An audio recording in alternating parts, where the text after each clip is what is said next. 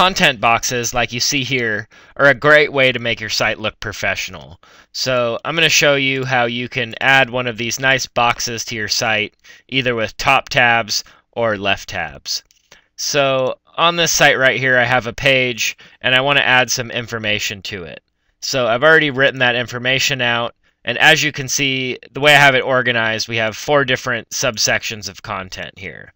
So what I'm going to do is I'm going to quickly copy that content and then I'm going to open up the back end of this page right here. And what we're going to do here is up on the top menu, we're going to select Add ET tabs. So that's going to open up this box here. For this one, we're going to use some left tabs. Uh, we're going to leave the auto at no. We just want people to manually click through it. We don't want it to automatically skip from tab to tab. And then we have to go and just add in the content for each tab. So as you can remember, we had four different tabs here. I'm just going to go and copy paste.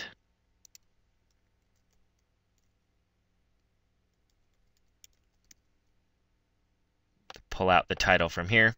Okay, so we have our first tab. For architectural, we have the top text and then the content. So we have four tabs for this one, so we have to click add one more tab. I'm going to paste in the next one.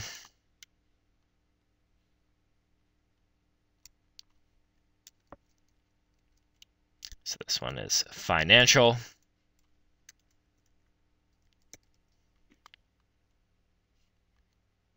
One more.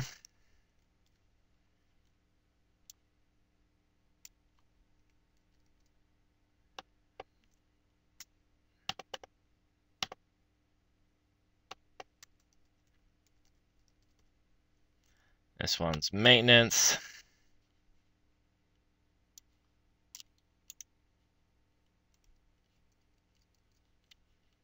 And finally, the last one is owner. So I've added in the content for my four tabs, selected left tabs, you can select top tabs, and we are all good. So we're going to click OK. And there you have it. So the content's been pasted in. So if we update it on the front end of the site, you'll see that we have this nice clean table. So within that table, you can go back in here and clean it up and add in photos if you want, uh, align them and wrap the text, and really make it look clean. But that is the basics of adding the ET tab content box.